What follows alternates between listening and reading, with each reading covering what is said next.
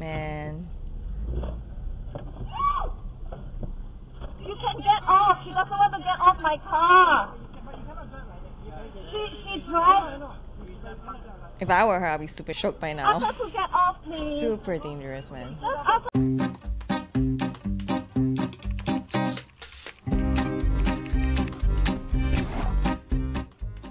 Hi, my name is Rachel.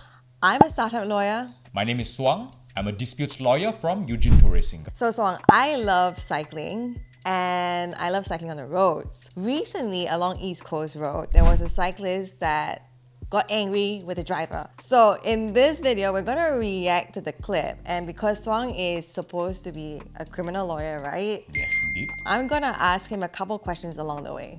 Let's go.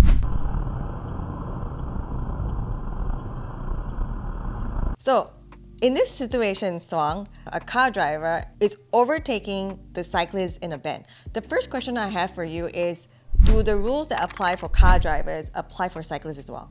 Well, the rules can be found in various statutes, including the Highway Code. And with respect to the Highway Code specifically, some rules apply only to car users and some rules apply only to bicycle riders. So, as a bicycle rider, be very careful and don't assume that whatever rules apply to car users would apply to your benefit. Who's that?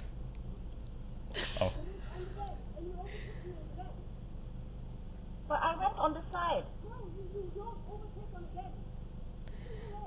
So, at this stage, Swang, has the lady in yellow committed any crime or civil offense because she's blocking the car from moving in a pretty busy road? Well, there are several potential transgressions that she may face. Uh, one, she may potentially face charges under the Protection from Harassment Act for harassing somebody using acts or using words that are distressing to the car driver. You should try not to block someone's car and maybe just take a picture of the person's car and deal with it later. But let's see what happens next. So she kind of moves away. So the cyclist bangs the lady's car door. There is Rule 37 of the Highway Code that very explicitly states that a cyclist is not permitted to come into contact with the side or the back of a car. Got it. I kind of feel bad for the driver because I think she was gonna go to I want to to teach a class. And I would be pretty pissed if someone was standing right in front of me and just refusing. In fact, I think this car driver is really, at this moment, just being the more civil one, Yeah. controlling her emotions. I've got a quick question. One of the things that the driver did was she told the person's bicycle and she moved it to the side. Is there anything wrong with that? Technically, they may consider her by coming into contact with bicycle, the driver to be liable for trespass to property. Oh. But really, this would be a very clear case, in my view, where the prosecution would exercise its discretion not to charge the driver, because it would appear to me that the driver is engaging in something quite reasonable. Okay, let's continue watching. It gets a little bit exciting from here. Wow, this is dramatic. So, the driver starts driving with the cyclist on the car. Well, it's probably wrong for me to say this, but at this point, she. But what are the offenses over here, Song? there are so many that I really can't think and really here this is where uh, both parties start becoming at fault. So obviously here uh, what the cyclist has been doing is aggravating her earlier acts of either harassing that is committing conduct or saying words that are distressing and alarming to the driver.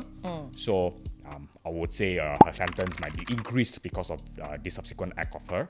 But the driver really should have just stopped or perhaps just driven to the side of the road and try to disengage with the situation. Mm. Here, where she's trying to drive at a fast speed with the cyclist there and perhaps to get the cyclist off, she may very well become liable under section 64 to 66 of the Road Traffic Act, whereby the driver herself is starting to engage in rash or reckless acts, are liable to endanger the safety of the cyclist and also to other motorists on the So, what happens if these ladies decide to be kind to each other the next day and say, hey, you know, we decided not to press charges against each other? Would that have any impact on their charges?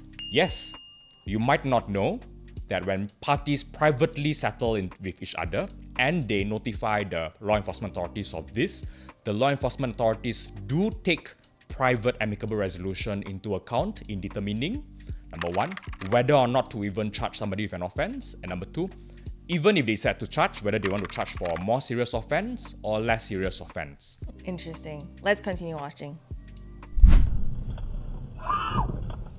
Man. You can get off. She doesn't want to get off my car. She she drives. If I were her, I'd be super shook by now. get off. Super dangerous, man. Just ask her- I've got another question for you finally, Song. It relates to who the lady in yellow was. So she's a lawyer.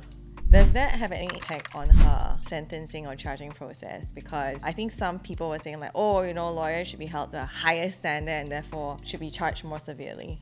I haven't yet really seen cases which explicitly say you are a lawyer, you should know the law best, hmm. and because we put you to a high standard, this is aggravating. So I would say quite likely the rules will apply to her as if she's a non-lawyer. That being said, her being a lawyer would definitely impact on her fitness and propriety to be called to the bar. So her ability to practice in a law firm might be impacted. Yes. We hope you like this video. If you like it, please like, share, and subscribe, and we'll see you next time. See you.